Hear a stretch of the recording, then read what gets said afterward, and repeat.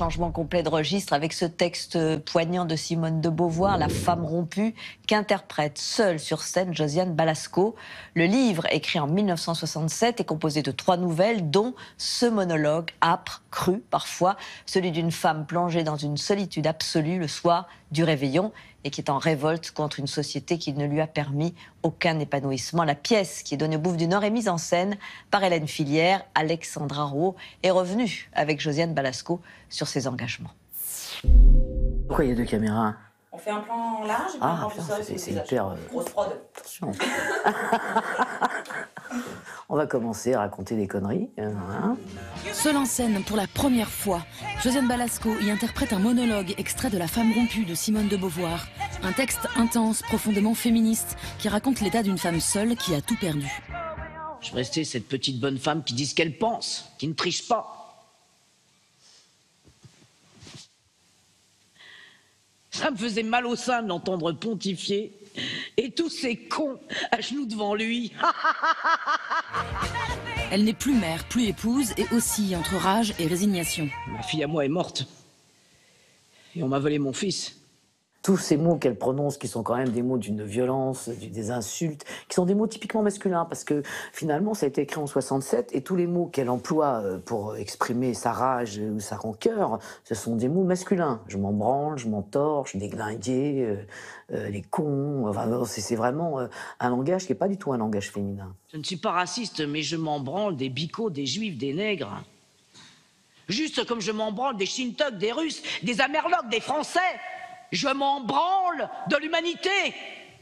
Actrice, réalisatrice, scénariste et auteur, Josiane Balasco a depuis toujours bousculé les codes, empoigné des thèmes avant-gardistes et aussi féministes, l'air de ne pas y toucher. Elle a débuté en s'écrivant des rôles pour le café-théâtre, souvent des anti-sex symboles, puis très vite, elle intègre la troupe du Splendide, une femme parmi des hommes qui partageaient le même humour. Tu peux pas baisser tes parasites un peu C'est le seul moment où je peux écouter ma radio tranquillement, moi. Là, c'est le seul moment où je peux jouer du piano, alors arrête J'ai commencé à travailler dans les années 70, donc c'était juste après 68. Il y avait le commencement de cette révolution euh, féministe, euh, et j'avais pas de modèle féminin. Et après, il y a eu des modèles féminins, mais au début, j'en avais pas. Il y avait Maillan qui faisait du boulevard, qui était une immense actrice. Il y avait quelques actrices comme ça. Euh, donc, il fallait que je me trouve, je me crée mes propres modèles. Euh, et, et donc, c'est vrai que je pensais souvent à l'humour masculin. Son modèle, c'était Jerry Lewis, une gueule et un corps, et c'est justement par le corps que Balasco a voulu désinguer les codes des canons de beauté. En 81, Jean-Marie Poiré adapte une de ses pièces, Les hommes préfèrent les grosses. Pour moi, c'était le tandem, euh, basiquement, Jerry Lewis, Dean Martin. Donc, euh, une belle fille et euh, une petite rigolote qui n'était pas forcément un top. Et bon, on l'a écrit avec Jean-Marie, et après, ça, et ça a donné euh, cette comédie qui est typiquement, moi, quand je la revois, c'est 80 à mort, c'est-à-dire que ça baisse tout le temps. Et je pense que c'est une des premières fois où on voyait une, une fille qui, n'était, qui, qui s'affichait comme étant un boudin avoir un premier rôle. et ça, ça me faisait rire. En 87, Balasco s'attaque à la mixité. Elle réalise les keufs et tombe dans les bras d'Isaac de Bancolé. T'es heureux?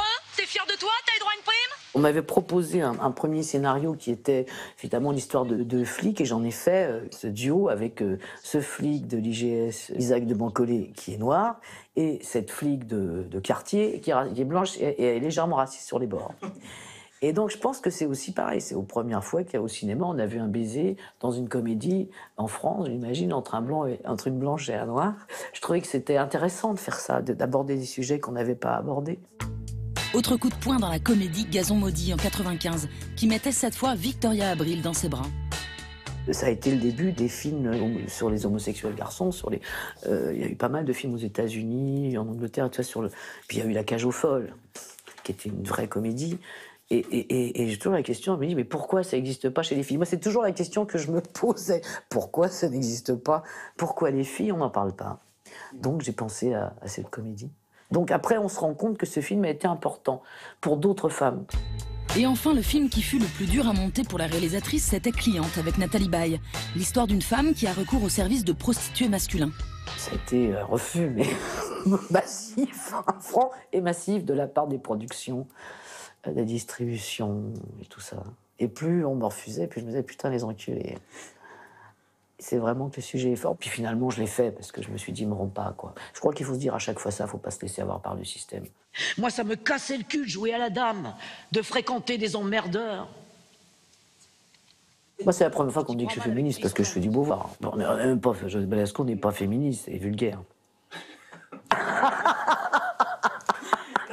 Maintenant, je peux dire, je m'en torche, c'est pas de moi, c'est de Beauvoir, excusez-moi.